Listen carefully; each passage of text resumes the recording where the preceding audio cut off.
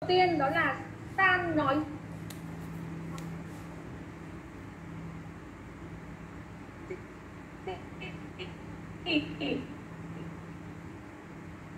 Mặc dù nói cách thật là nghiêm túc thì là đi bộ thì không phải là môn thể thao mạo hiểm.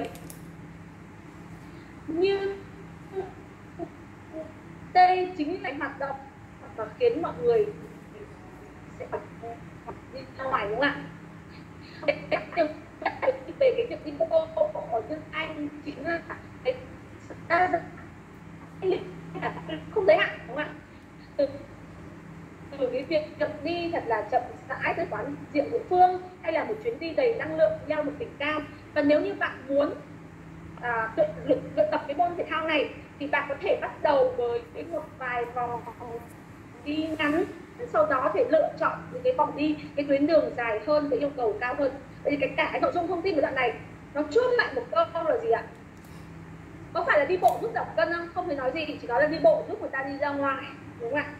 Hay là à, có nói gì về việc là làm tự mình làm đây là cái đây là hành động làm một mình hay là theo nhóm không? Không thể nói. Vậy thì chỉ có một lựa chọn đây chính là chúng ta hoàn toàn có thể lựa chọn à, có thể làm sao ạ? À, tự mình hài lòng của chúng với những cái chúng ta làm như nào nghĩa là đầu tiên như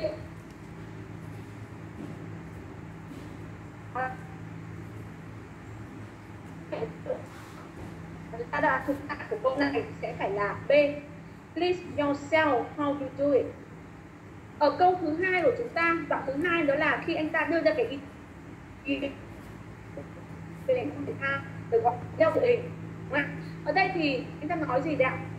À, scrambling hay môn leo địa hình thì nó là một cái khoảng xám ở giữa đi bộ và leo núi. À, và cái hoạt động cái môn thể thao này sẽ được làm sao ạ? Xếp loại theo độ khó và ở những cái mức độ ngoại độ khó hơn thì khá là giống với việc leo núi đá. Thì người chơi người tập luyện đúng không ạ? Thì tốt nhất là cần đi với chuyên gia cần đi expert đây là cần đi với những người có kinh nghiệm đúng không ạ? Có có đã từng.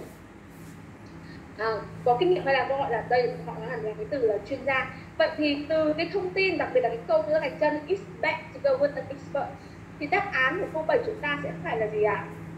Là thì đôi khi người chơi môn thể thao này sẽ cần phải có người đồng hành. Có nghĩa là cần đi với chuyên gia ở những cái cấp độ khó hơn của cái môn leo núi này. À, môn gọi là leo địa hình này ở câu thứ 8 của chúng ta đó là việc là anh ta đưa ý kiến về cái môn gọi là đi xe đạp trên núi đúng không ạ?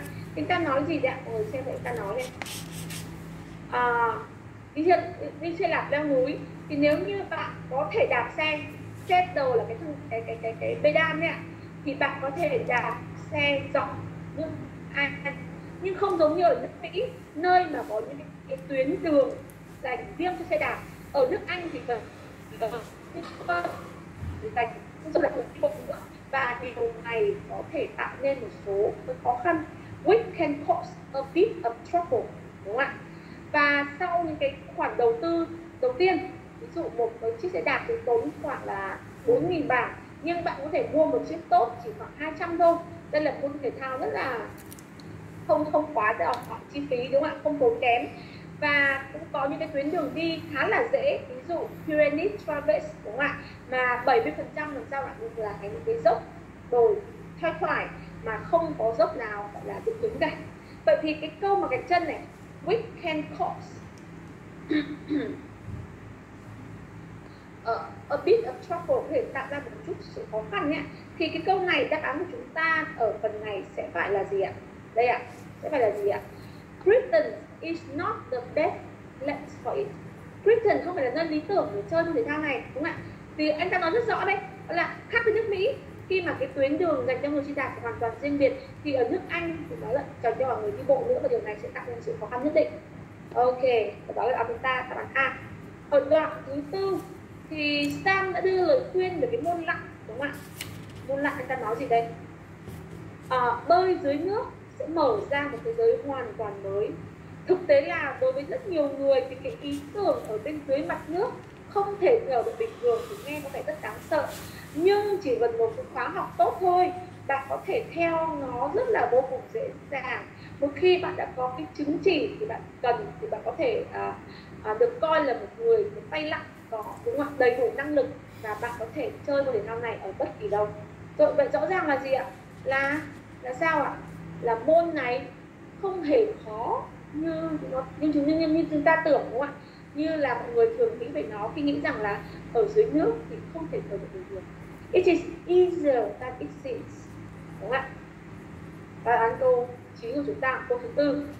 Và câu cuối cùng đó là việc Sang nói gì về cái môn gọi là môn trò thuyền đúng không ạ? Sang nói gì đấy ạ? Ta sẽ xem anh ta nói gì nhé à, có một số những cái giải nước thì ờ, khá là à, khá là khó chỉ dành cho những cái tay chèo thuyền chuyên nghiệp. Nhưng những người mới chơi có thể bắt đầu với những cái giải nước những cái những cái tuyến đường tuyến nước sao ạ?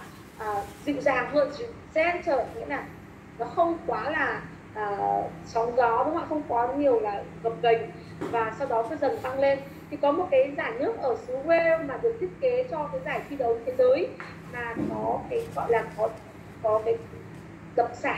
Có nghĩa là theo những cái thời gian được đặt trước nhất định thì à, nước sẽ được xả xả qua đó. Và bạn có thể gọi trước này và hỏi họ xem là à, à ngày mai thì sẽ là xả toàn toàn bộ bậc cửa xả hết hay là chỉ một tư thôi? Và bạn có thể lựa chọn cái thời gian là theo cái độ khó phù hợp của mình đúng không ạ? Cho time according to chỉ để theo cái độ khó nhất định. Tùy theo cái năng lực của mình đến đâu thì sẽ là độ khó. Tuy nhiên là đập càng mở lớn thì sẽ càng khó, dòng nước nó cuộn, thì cái việc trèo thuyền càng khó. Vậy thì rõ ràng câu 10 này, ý của anh ta nói là ta có thể hoàn toàn là lựa chọn cái độ khó, cái điều kiện mà phù hợp của chúng ta. Đó là đáp án ta sẽ phải là câu A. You can do it in condition that suits you. Đúng không Để kiểm tra lại đáp án của bài luyện tập thứ ba chúng ta vừa nghe trong phần 2 và kỹ năng nghe câu thứ 6 chúng ta là B câu 7 là A câu 8 là A câu 9 là B và câu 10 là A. Ok nghe thì rất là khó. Nên mọi người cố gắng và chúng ta nhớ là ghi chép các án lần cẩn thận thận nhất anh chị. Chúng ta có tài liệu tham khảo. Ta sẽ sang nhanh sang cái phần luyện tập số 4 ta đang trong cái đà ta sẽ cố gắng hoàn thiện hết à, cả cái năm vào luyện tập cho phần ờ, nghe hai này. Ở luyện tập số 4 ta sẽ gì ạ? Năm đoạn trong cái bài nói về một cái cuối tuần đi leo núi, Mountain Climbing Weekend, một cái kỳ nghỉ cuối tuần là dành đi hoạt động leo núi, đúng không ạ? Ta sẽ nghe người ta nói gì? Dolas sẽ là nhân vật chính. How did Dolas feel when he booked the weekend? Dolas cảm thấy thế nào khi anh ta đã đặt cho cái chuyến đi cuối tuần như vậy? Sure that he would enjoy training for it. Anh ta chắc chắn rằng anh ta sẽ thích thú cái việc luyện tập này. Uncertain if it was a good idea for him Không chắc rằng đây có phải là ý tưởng tốt đối với mình hay không Hay là surprised that such activities were organized. Vô cùng ngạc nhiên khi thấy những cái hoạt động như thế này cũng rất là có tổ chức. Ở đoạn thứ hai, Douglas expected that the experience would help him too. Douglas hy vọng rằng là cái trải nghiệm này sẽ giúp anh ta làm sao đấy ạ? Thứ nhất là meet people with similar interests, gặp gỡ những người có cùng sở thích. Thứ hai, improve his physical fitness, nghĩa là cải thiện cái vóc dáng của mình. Thứ ba là discover his psychological limits khám phá cái giới hạn về mặt tâm lý về mặt tinh thần của mình. Đoạn thứ ba này he was surprised that the other participants. Anh ta rất là ngạc nhiên khi thấy những người tham gia khác sao ạ? Were there for reason like it? Cũng ở đó, cũng đi cũng đi cái kỳ nghỉ này với những cái lý do giống như của anh ấy. Were experienced climbers là những tay leo núi có kinh nghiệm. Hay là were in better condition than him? Nghĩa là ở trong cái điều kiện về thể lực, về sức vóc tốt hơn ta. Đoạn thứ tư, what did the people plan at the end of the trip? Mọi người đã lên kế hoạch gì vào cuối chuyến đi này? To send each other postcard gửi cho mỗi người một tấm thiệp. To take a different short of trip together là cùng nhau đi một cái chuyến đi khác, nhưng mà là một loại hình khác, không phải leo núi nữa, đúng không ạ? To go on another climbing trip together, cùng nhau đi một chuyến leo núi nữa. Và câu cuối cùng, đoạn cuối cùng. In what way? Sau là change as a result tốt là thế nào kết quả của chuyến đi thì tôi đã thay đổi như thế nào he developed more interest in people anh ta trở nên thích thú hứng thú hơn với con người quan tâm với người he became more ambitious anh ta trở nên tham vọng hơn ừ. hay là he began to notice Ừ. more things around him anh ta bắt đầu nhận thức để ý hơn đến mọi thứ xung quanh mình Rồi, năm câu từ năm đoạn trong một bài nói về một cái kỳ nghỉ đi cuối tuần của mời cả lớp ta cùng nghe. Và nếu anh chị không nghe được thì mình cũng nhắc tôi. Cử viên sư phạm. Ờ Ờ, đúng rồi ờ.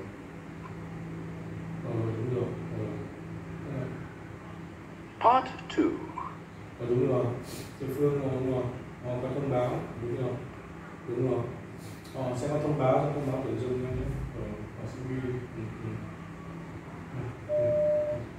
Ừ, ừ. I suppose it started with seeing adverts for activity holidays in the national press week after week. It somehow got into my subconscious. Then there was one which said, Are you ready for the greatest physical challenge of your life? 5,000 meters, one weekend. And somewhat against my better judgment, I found myself picking up the phone straight away. You see, I simply hadn't trained for it. The nearest I'd got was a bit of hill walking five years ago.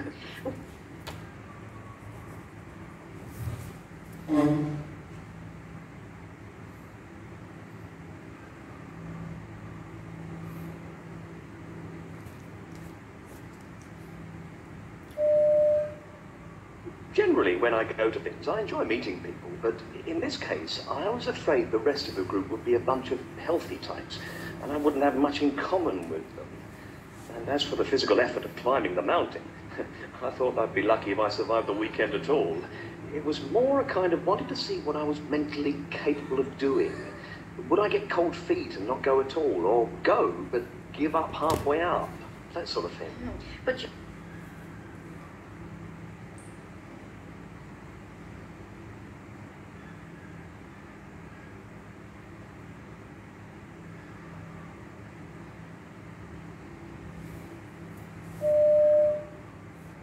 a few serious walkers and climbers, but most of the participants were professional people who wanted to do something quite different once in a while. More or less like me, in fact. So, not intimidating after all. Though I have to admit that nearly all of them were fitter than me. Actually, I hadn't realized so many people did this sort of thing. It was funny, when I told a friend that I was going, she said, Oh, not another one. Everyone I know is going climbing this year. There's a big thing about pushing yourself to your limit at the moment, isn't there? You're welcome to it, she said. You won't catch me up there.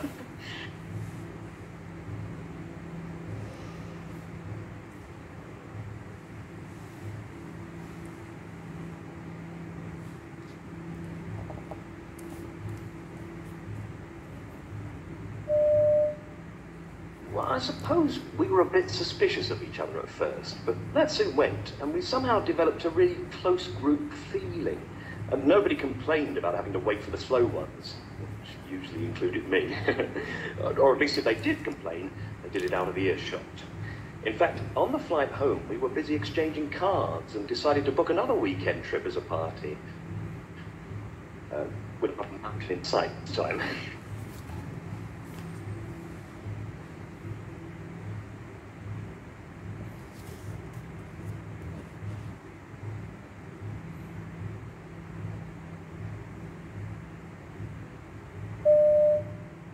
It was much better than I expected. It made me change in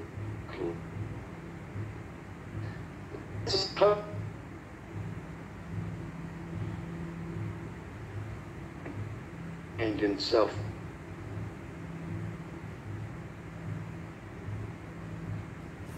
Not, I learned to get on.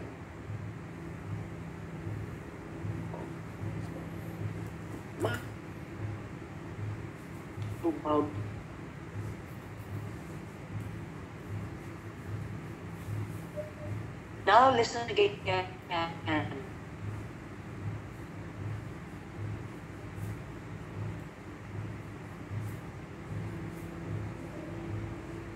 Somebody good day. Back to the national press week after week.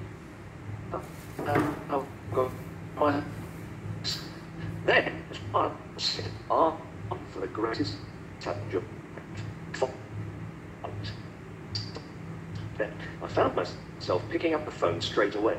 You see, I simply had a train for it. The nearest I got was a bit of hill walking. I did.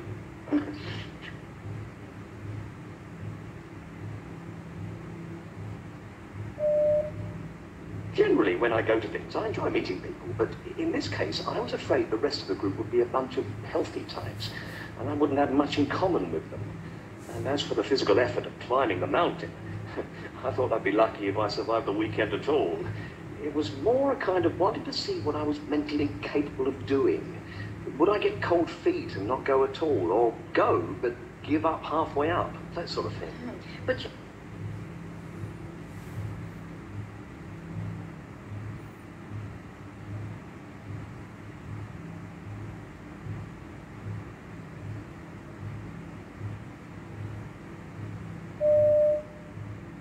few serious walkers and climbers, but most of the participants were professional people who wanted to do something quite different once in a while. More or less like me, in fact. So, not intimidating after all. Though I have to admit that nearly all of them were fitter than me. Actually, I hadn't realized so many people did this sort of thing. It was funny, when I told a friend that I was going, she said, Oh, not another one. Everyone I know is going climbing this year. There's a big thing about pushing yourself to your limit at the moment, isn't there?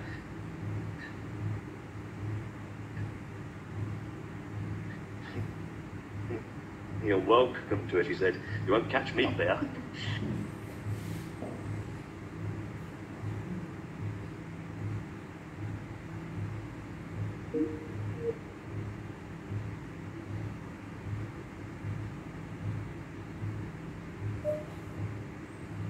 I suppose we were a bit suspicious. Soon went, and we somehow got a really close group and nobody complained about having to wait for the slow ones, which usually included me. but without a mountain.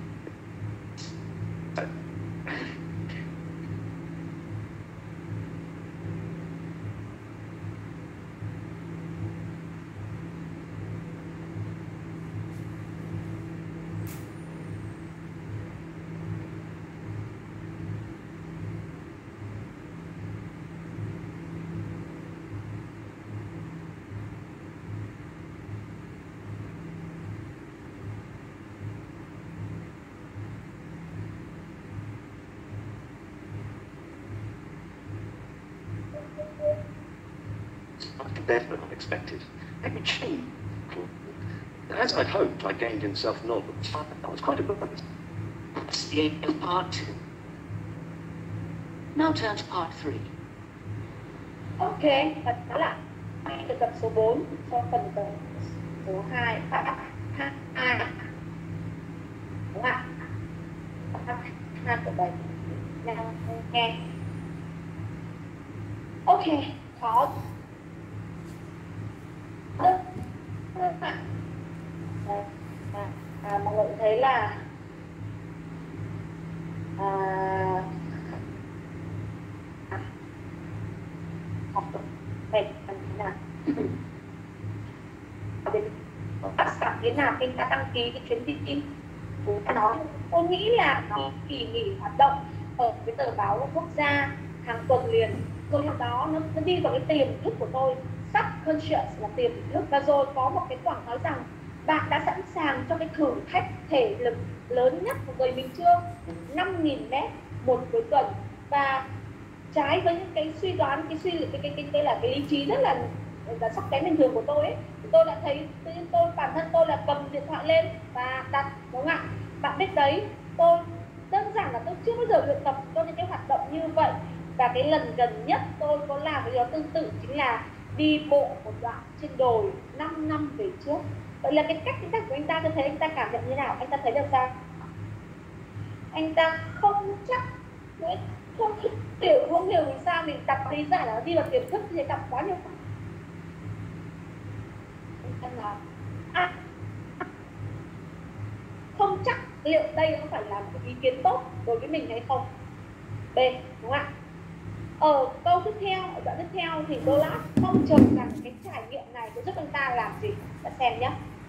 Ờ, đây câu trả lời đây ở của January.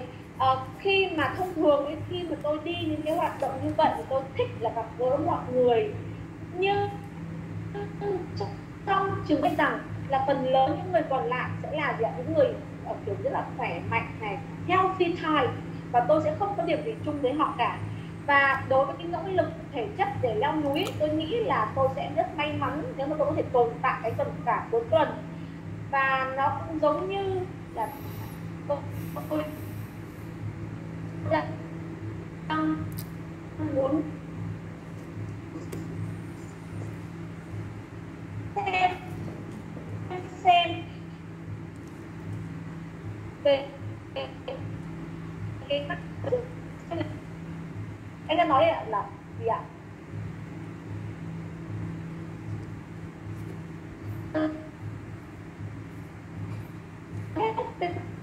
này sẽ phải là gì ạ discover his psychological xem cái giới hạn tinh thần của nó như thế nào bạn có à, có đi được tấn công?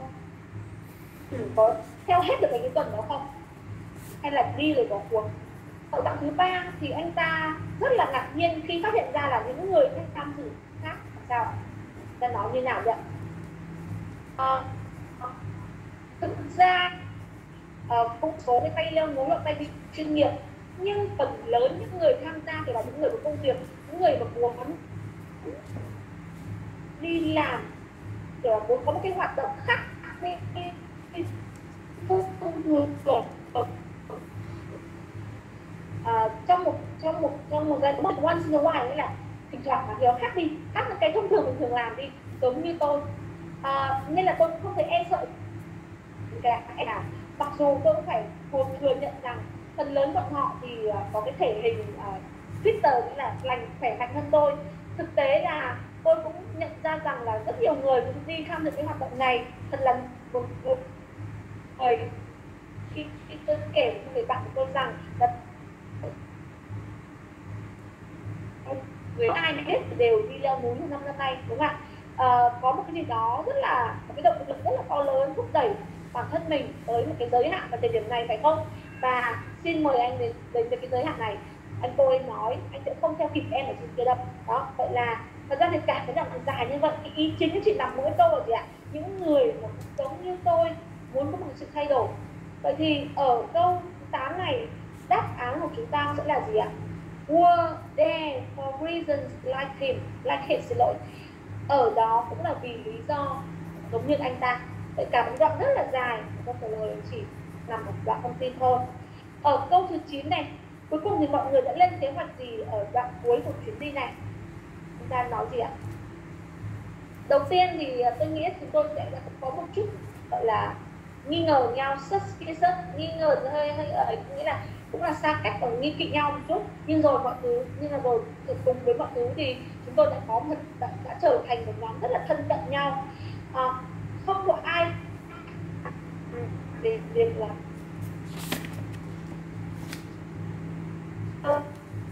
đi thực tế là trong chuyến bay về nhà, chúng tôi đã bận rộn trao đổi như tiếp nhau và quyết định sẽ đặt cho một cuối tuần cho một chuyến đi cuối tuần khác nữa. Nhưng không có núi but without a mountain inside this time và là không liên quan đến núi nữa. Vậy là cùng nhau đi, nhưng là một loại hình chuyến đi khác. Và chúng ta có thể sẽ phải là B, to take a different shot, a trip together. Và câu cuối cùng kết quả của chuyến đi này của Dolores đã thay đổi như thế nào? Các xem anh ta nói nhé. À, nó tốt hơn tôi nghĩ rất là nhiều. Nó khiến tôi thay đổi cách rất là thầm lặng thầm lặng đấy. À, như tôi đã hy vọng là tôi đã nhận thức tôi đã có được cái nhận thức ừ, bản bản thức bản thân mình. Tôi đã học được cách uh, thích nghi cách à, có nghĩa là gọi là gì ạ? Hòa thuận với mọi người. Với những người tôi không thể nào chạy trốn khỏi nhưng uh, trở nên quan tỉ mẩn hơn more observant. Cái tính từ này bắt đầu nguồn từ động từ observe nghĩa là quan sát. Ví dụ như là con tôi một để ý tới cả những cái bông hoa dại nhỏ lý tí và đây thực sự là một phần thưởng lớn. Quite abundance đúng không ạ? Vậy là anh ta thế nào ạ? Anh ta làm sao anh ta trở nên làm sao ạ? Nhận thức được mọi thứ xung quanh mình. He began to notice more things around him. Mà quan sát tỉ mẩn hơn rồi những bông hoa dại nhỏ ta cũng được muốn thấy rằng là chúng ta nghe, chúng ta phải suy luận ra chứ không hề đơn giản mà ta nghe và ta chọn được ngay, đúng không ạ? Rõ ràng là kỹ năng nghe đấy rất là khó rồi. Ok, và đó là luyện tập số 4 cho phần 2 của bài thi kỹ năng nghe. Ta cùng kiểm tra lại nhé. Câu 6 ta sẽ chọn B câu 7 C câu 8 A câu 9 B và câu 10 là C. Ok ta chuyển sang bài luyện tập cuối cùng cho phần 2 năm đoạn nghe độc thoại từ một bài lớn và ta sẽ phải có 5 câu trắc nghiệm. Rồi, ở đoạn cuối cùng này, ở bài luyện tập cuối cùng này ta sẽ nghe cái gì ạ? A talk of a young chef who has its own cookery series on television. Vậy là một bài nói của một đầu bếp trẻ, người có một chương trình nấu ăn trên TV ở đoạn 1 on his TV program. State live show audience.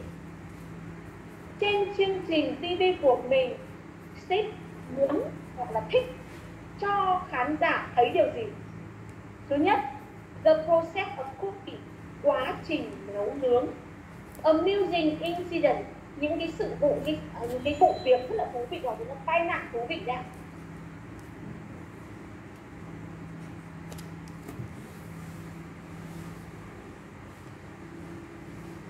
Ờ, như bạn Minh Đặng sao lại cho đáp án sai? À, à bài 3 bài 3 đi ạ. Lỗi tôi tưởng bài 4 à, tiếp theo C attractively presented dishes là những những, những cái đĩa thức ăn những cái món thức ăn được trình bày rất là hấp dẫn. Đoạn thứ hai này Steve was given his own TV series because Steve được đưa cho mình được có cả một cái gì ạ? một cái chương trình TV cho riêng mình. Bởi vì sao? Thứ nhất he cooked for TV company. Anh ta nấu ăn cho một công ty truyền hình. He appeared on the TV program. Anh ta xuất hiện trên một chương trình TV hay là he had been recommended to a TV producer. Anh ta được giới thiệu tới một nhà sản xuất truyền hình. Ở đoạn thứ ba câu, câu hỏi là à, what made he take up he chọn lựa. Việc nấu nướng như là một đứa trẻ. Từ từ khi là một đứa trẻ. His parents expect him to help in their restaurant là bố mẹ mong chờ sẽ giúp đỡ giúp đỡ ở trong bếp lỗ trong nhà hàng của gia đình. He felt it was the best way of getting some money. Anh ta thấy rằng đây là cách tốt nhất để kiếm ít tiền tiêu vặt hay là his father wanted to teach him to cook bố anh nghĩ là muốn dạy anh ấy nấu ăn như thế nào? Và đoạn thứ tư, what does it say about the cooks who work for him? Steve nói gì về những đầu bếp mà làm việc cho anh ấy? Thứ nhất he unfair to them, anh ta thỉnh thoảng sao bất công có nghĩa không công bằng đối với họ. He demands a lot from them. Anh ta yêu cầu rất cao từ họ. Hay là he trains them all himself. Anh ta tự mình huấn luyện học. Và câu cuối cùng đoạn cuối cùng. How will Steve book be different from other books about cooking? Quyển sách của Steve quyển sách của Steve viết ấy thì sẽ khác gì những quyển sách về nấu ăn khác trên thị trường? Thứ nhất the variety of food it deal with cái, cái, đa dạng của thức ăn mà quyển sách này uh, sẽ đề cập tới. The way that it is illustrated. Cái cách mà quyển sách này được minh họa hay là the sort of person it? Is aimed at cái kiểu người, cái loại, cái cái kiểu người, cái là cái đối tượng khán giả, đối tượng người đọc mà cuốn sách này nhắm tới. Ta sẽ có 5 đoạn 5 câu hỏi như vậy. Vẫn biết là khó, mọi người cố gắng nghe, đúng không ạ? Ở đây thì cái khó là một cái đoạn phỏng vấn dài nhưng mà lại nhảy ngay vào cái nội dung. Trực tiếp để ta sẽ phải rất nhớ cái câu hỏi, rất nhớ cái định hướng để trả lời. Ta mới có thể nắm được thông tin à, các anh chị cũng nghe đi ạ. Sao? Ta sẽ nghe và đó tôi sẽ chữa. Now listen please.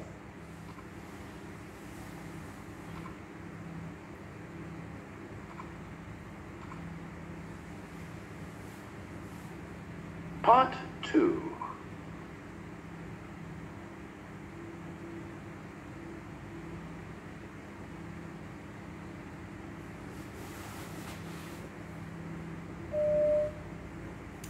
Think I'm different from other TV chefs in that I want people to see how I prepare a dish from the word go. So I don't present them with a dish that's half prepared already. If anything should go wrong during the program, you know, suppose something gets burned, well, that's part of the experience. when they try preparing it themselves, then they'll see the beauty of the finished product, but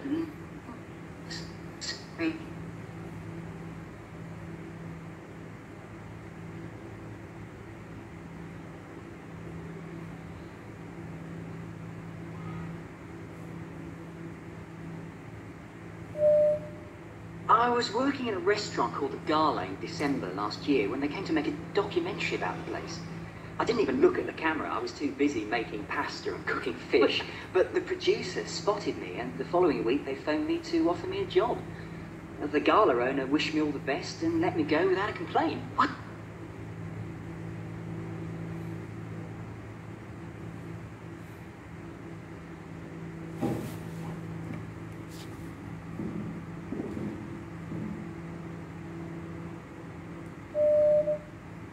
I started cooking at the age of eight. My mum and dad have a restaurant, and dad used to do all the cooking back then. My mum was too busy looking after us. Um, dad insisted that if I wanted some money, I should work for it. And it seemed a lot more interesting to help out in the kitchen and see how things were made than to earn my money washing dad's car.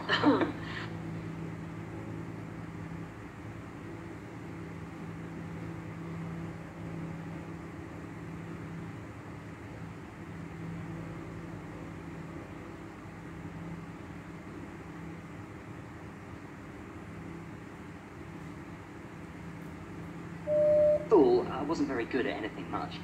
At that time, I wasn't on anything other than cooking. I found sitting in a classroom trying to pay attention. I managed to get to college, though, and there I was fine. Because when it came to the actual cooking, I knew what I was doing. I realised that a bit of academic work didn't do you any harm either, and I found it much easier when I was interested in the subject. And so, I've no regrets, really.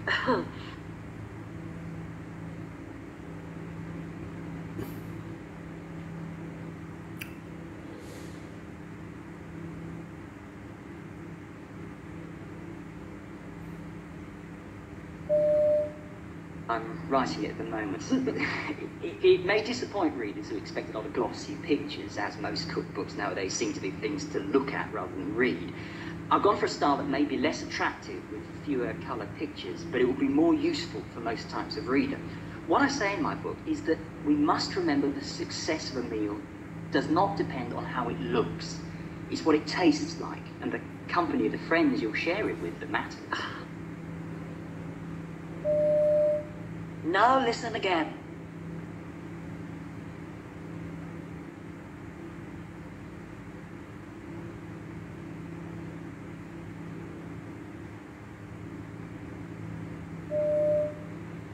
Well, I think I'm different from other TV chefs in that I want people to see how I prepare a dish from the word go. So I don't present them with a dish that's half prepared already.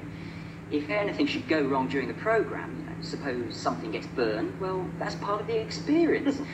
when they try preparing it themselves, then they'll see the beauty of the finished product, but not on the screen.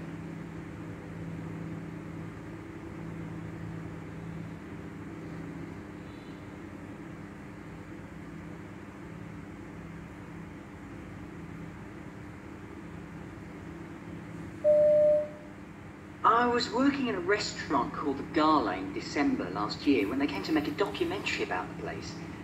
I didn't even look at the camera. I was too busy making pasta, cooking fish. But the producer spotted me, and the following week they phoned for me. The gala owner wished me the best and let me go without a complaint. What?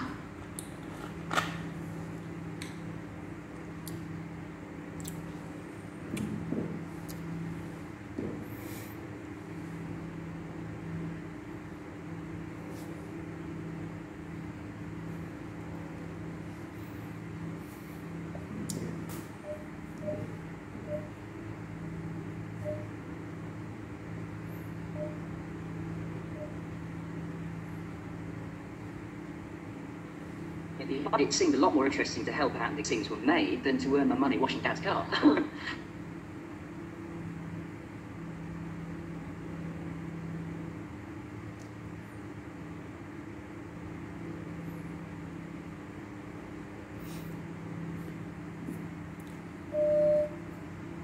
School, I wasn't very good at anything much. At that time, my mind wasn't on anything other than cooking. Sitting in a class, got to pay attention to things, very, very trying. And I was fine. Did I knew what I was I said a bit about it, but I didn't do it on either. And I much easier when I was with no regrets, really.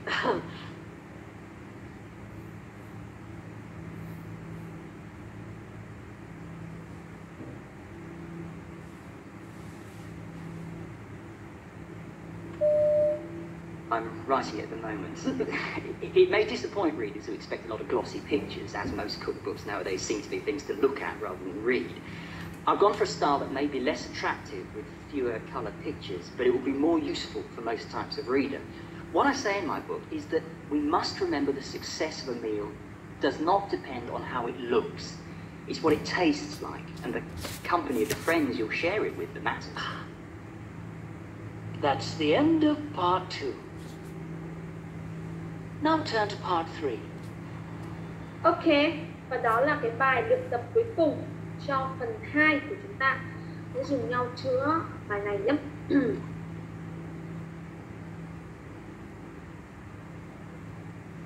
ok, look at the first question. Câu đầu tiên ạ, ta hỏi gì ạ?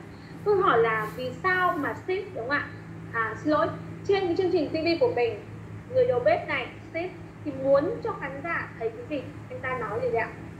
À, tôi nghĩ là tôi khác với những cái đầu bếp trên TV khác à, tôi muốn cho mọi người xem là tôi chuẩn bị một món ăn từ lúc bắt đầu from the word oh, go nghĩa là cái lúc bắt đầu ra nên là tôi sẽ không cho họ xem một cái đĩa thức ăn mà đã được chuẩn bị một nửa chuẩn bị sẵn một nửa và nếu trong quá trình làm chương trình mà có gì đó bị sai sót xảy ra sai sót à, ai biết được chẳng hạn như là bị cháy chẳng hạn thì đó cũng là một phần của trải nghiệm.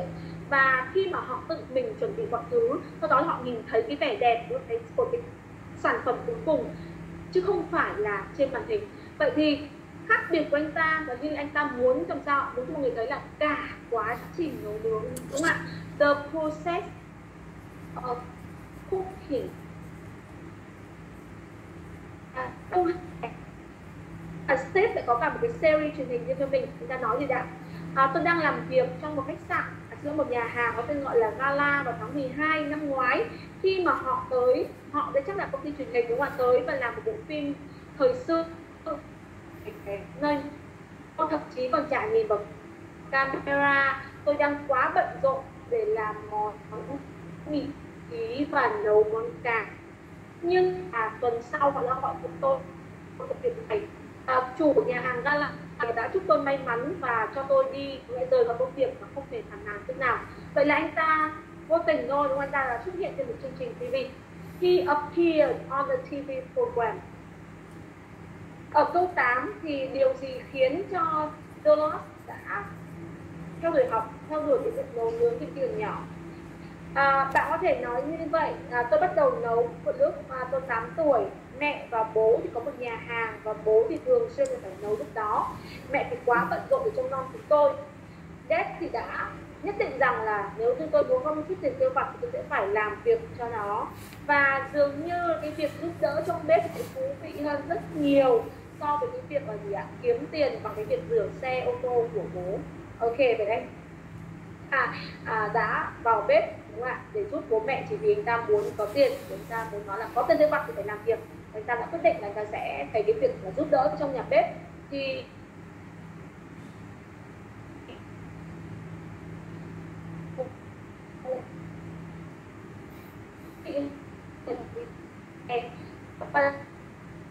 và tốt nhất để kiếm một chút tiền. Đã nói gì? Bếp mà. À à à à. à. Rồi rồi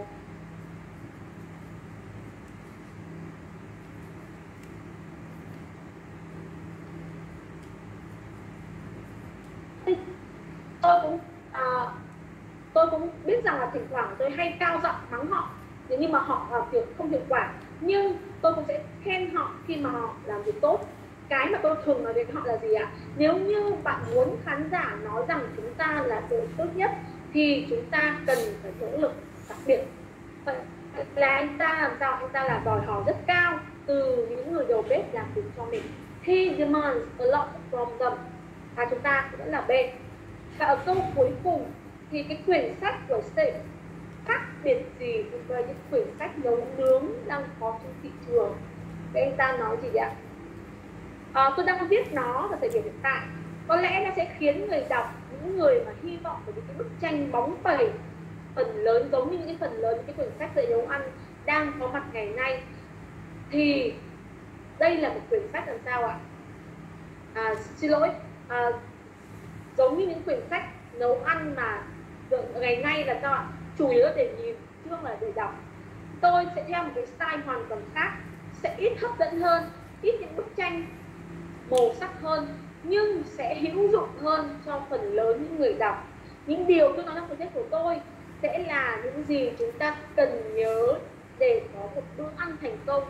Không phụ thuộc vào trông món ăn như thế nào, mà là nó ăn, nó nếm như thế nào biết vị như thế nào và người đồng hành và sự đồng hành của người bạn mà bạn sẽ cùng chia sẻ cái món ăn này đó vậy anh ta rất là rõ sẽ không có những bức tranh view không có những tranh màu mè vậy thì cái điểm khác biệt mà anh ta chỉ ra cái quyển sách nấu ăn của mình với những quyển sách nấu ăn khác chính là gì ạ the way that it is illustrated cái cách nó được minh họa sẽ không có nhiều những bức tranh màu mè bóng bẩy đúng không ạ? Mà những lần là thẳng vào.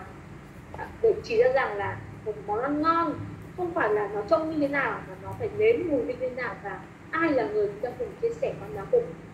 Ok một cái bài rất là hay cũng như là nó khó để nắm bắt được nhưng mà cái môn nhưng mà rất là hay đấy. Ừ.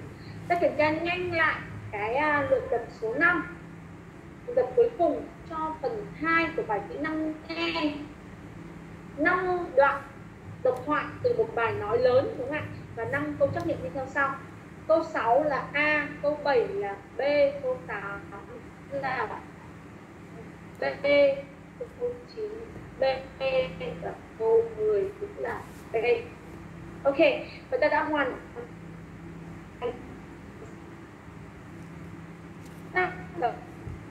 từ là hai phần trắc nghiệm, mỗi phần năm câu trắc nghiệm.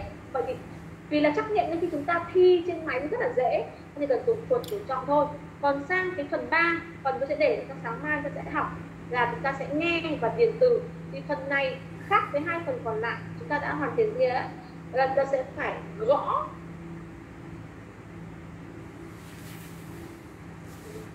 Khó hơn. Khó từ gì là sao? Sao ạ? Người hình dung là máy chấm sai một từ chúng ta, thôi, chúng ta mất điểm và nên khi mà a tôi sẽ nhắc mọi người thì mới lưu ý ý. khi chúng ta làm cái dạng bài điền từ này, nghe.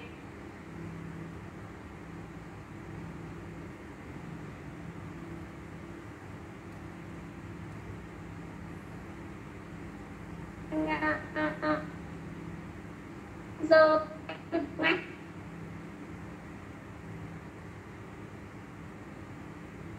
người vi phạm quy chế. Khi có vấn đề gì là khi chúng ta đang làm bài ạ. Còn khi chúng ta đang chuẩn bị phòng thi thì mọi người có không hiểu. Đang làm tới đâu rồi vậy thì à, à, khi mọi người có vấn đề mọi người bấm nút tên này để cán bộ coi thi hay là cán bộ kỹ thuật họ biết thì họ sẽ giải quyết các vấn đề của anh chị.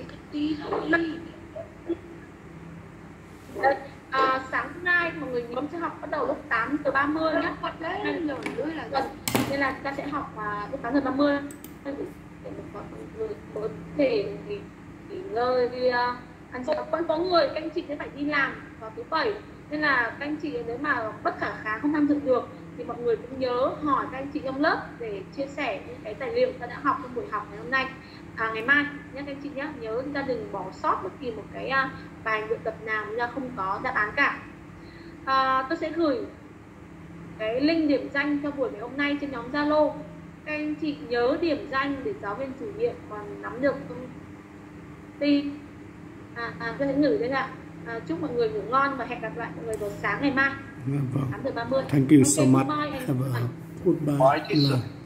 Goodbye teacher vâng